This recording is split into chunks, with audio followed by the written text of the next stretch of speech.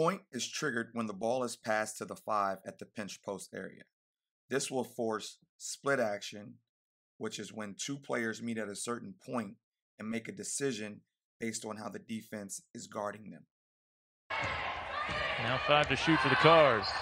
Jones. Nice pass to the cut. The wing entry handoff creates movement on the weak side with the two and the four. The three will reverse the ball to four and rub through to the opposite corner, which moves two up to the wing.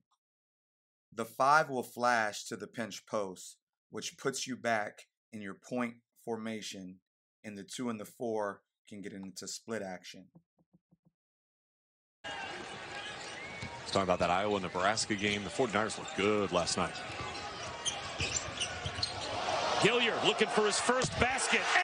When the ball is passed into the low post, this is the same as point, which triggers split action between the two and the four.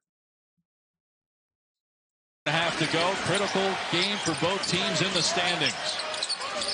Curry catch two for three. Hit it. If the five flashes to the pinch post but can't receive the pass, the one will go return and dribble at two for backdoor cut.